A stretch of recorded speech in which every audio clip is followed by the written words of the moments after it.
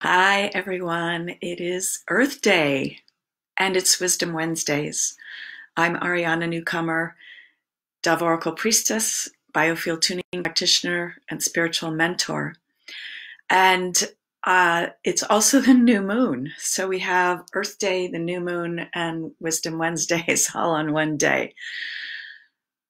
Today, I am offering a prayer that instead of having one Earth Day every year, that we make every day Earth Day. Because the truth is that we need that. We need to be conscious and aware and awake and treating Earth with care and love every day, not just one day a year, or we're not going to survive as a species. Uh, it's been very interesting in the midst of this pandemic, which of course is very stressful and uh, causing a lot of grief and difficulty, financial difficulties, health issues for many, many, many people. And I don't mean to make light of that. However, there have been wonderful results for for the planet, for our climate, for nature.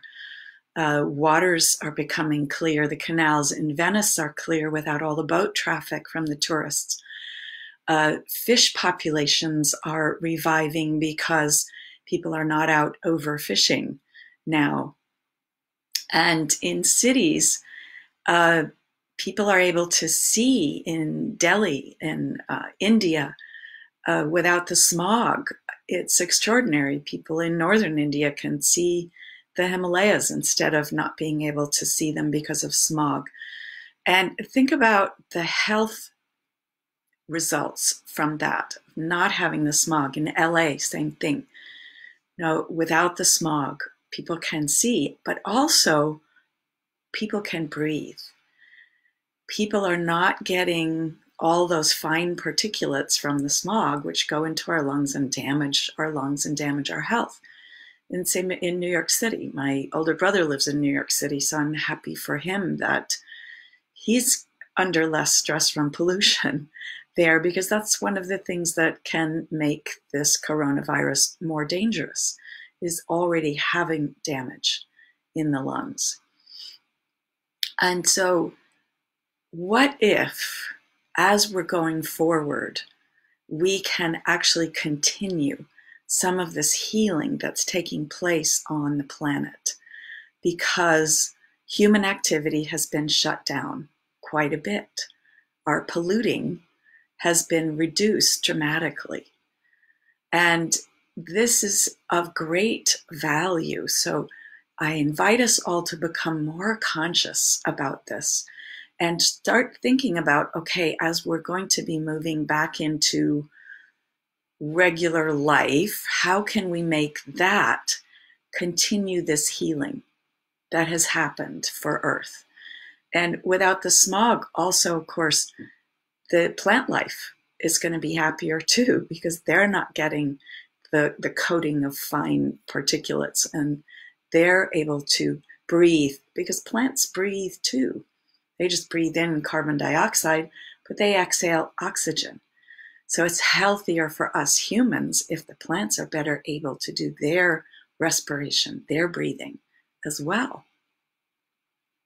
So, what if? What if we could make every day be Earth Day? What if we can come into right relationship again with Earth, which is our home? And as a lot of postings and, and media things have pointed out uh, today, there is no planet B. there is no planet B. This earth is our home.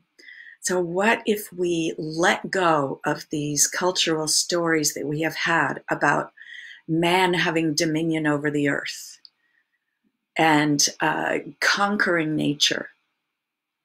What if we can let go of those stories and replace them with the story that we are part of this web of life on earth and that we don't survive without this web of life on Earth. If we kill off everything else on the planet, we're going to be gone too.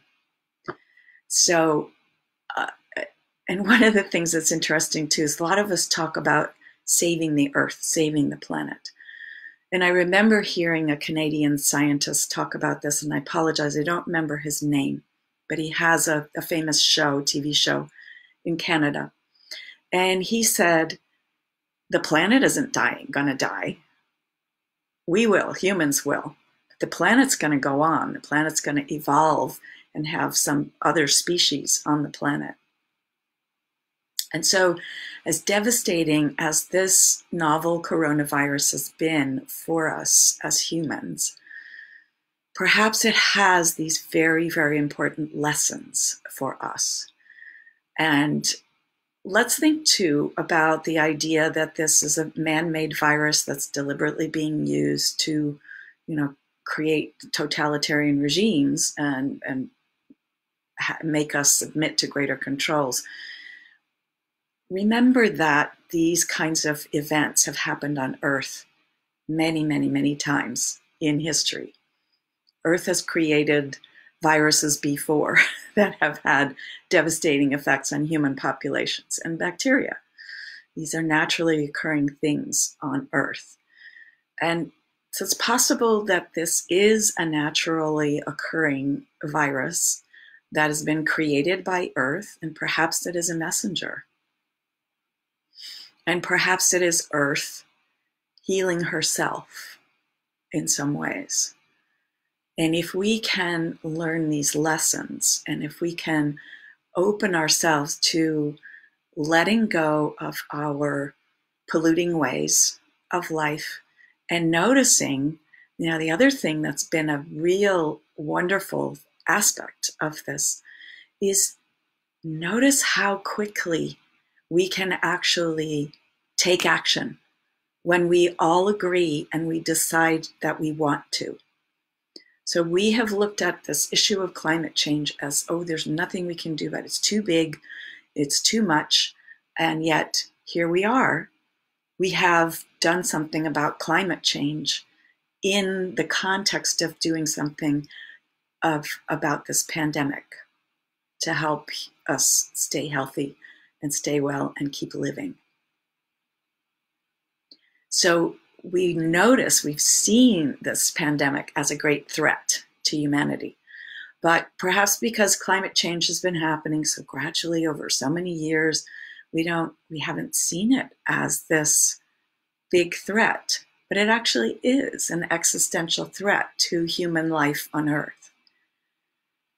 So my prayer for this Earth Day is that we begin to see and behave and treat every day as Earth Day, and that we each begin to do even more of the little things that can help, like we drive less. We stop using disposable little coffee cups, those K cup things. We make sure we use less plastics we don't throw our stuff out on the street. We compost at home. We perhaps eat less meat. Um, all these little things that we can do. And then, of course, the big things, persuading the big companies and corporations that they have to step up, that it is time for them to stop willy nilly polluting in the pursuit of profits because if we all die, there's going to be nobody to buy their products anyway. so we have to start thinking further ahead, folks. It's like the, the native traditions of seven generations ahead and seven generations back. I think about how my actions are going to affect those who come after me. So let us treat this day as the beginning of a series of Earth Days and help to heal Earth in every way that we can as we continue to help ourselves heal with this virus. So, see you next time.